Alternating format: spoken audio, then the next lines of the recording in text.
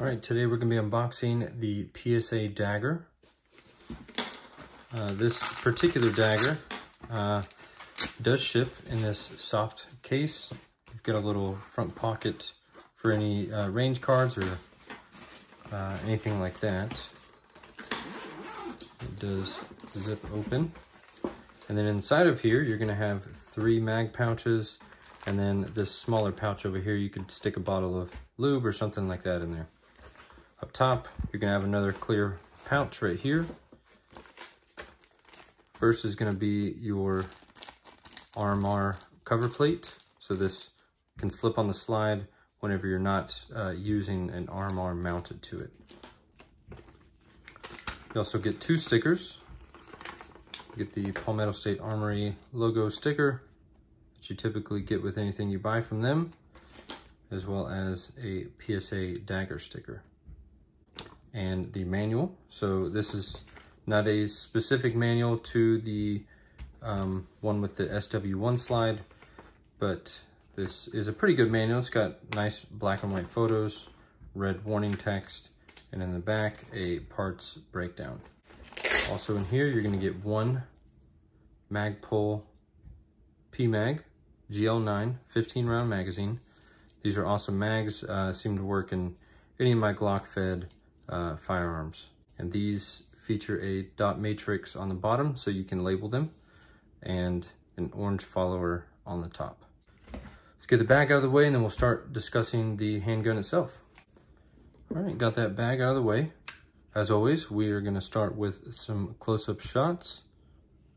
So you can take in some of the minor details here.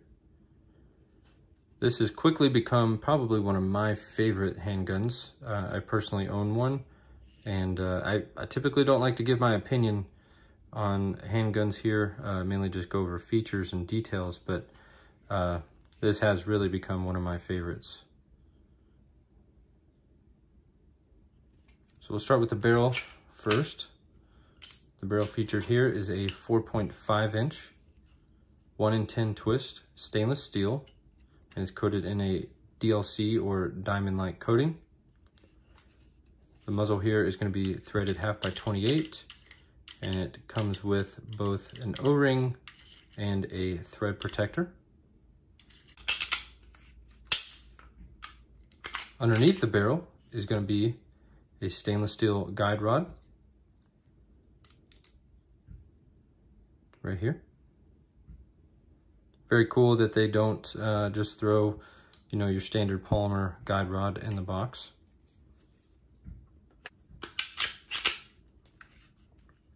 All right, so the slide. Slide is gonna be constructed of stainless steel and it's gonna feature an FDE Cerakote.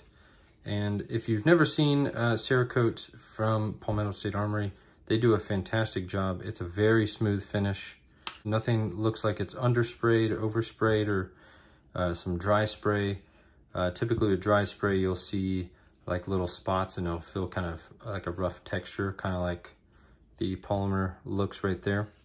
But yeah, they do a fantastic job with Cerakoting. So the SW1 slide, there's an SW1 and an SW2. The only difference between them is going to be the type of uh, red dot cut.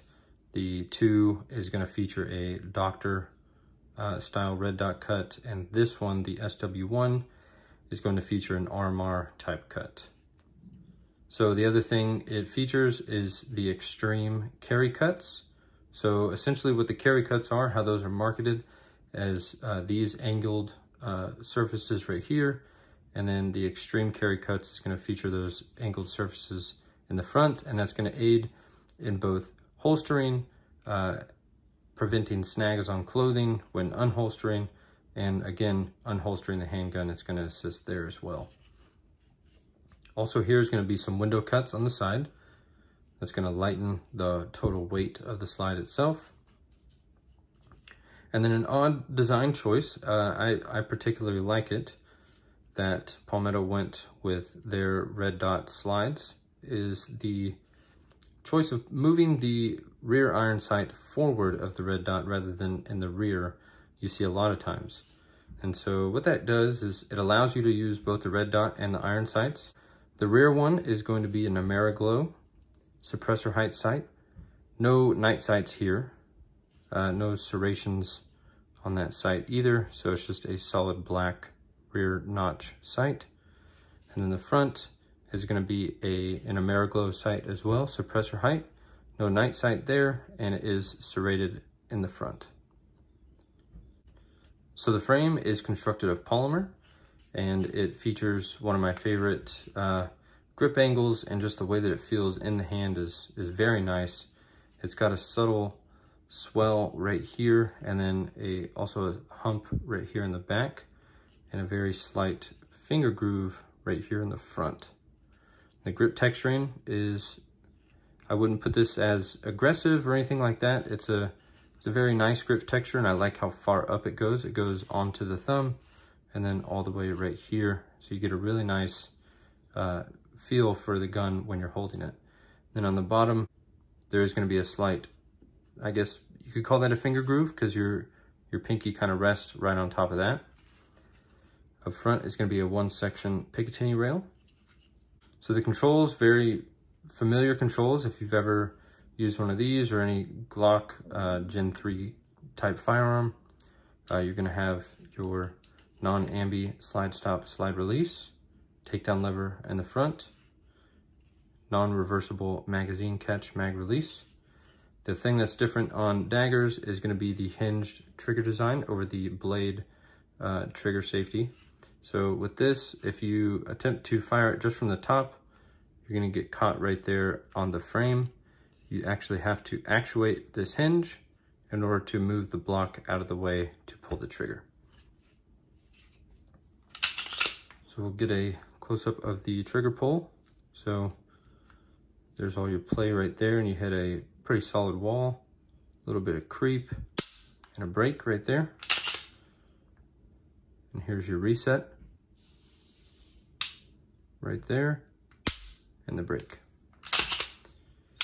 All right, so that is all for the PSA or Palmetto State Armory dagger. If you guys have any questions on this or anything else, uh, just drop a comment down below. Thank you for watching.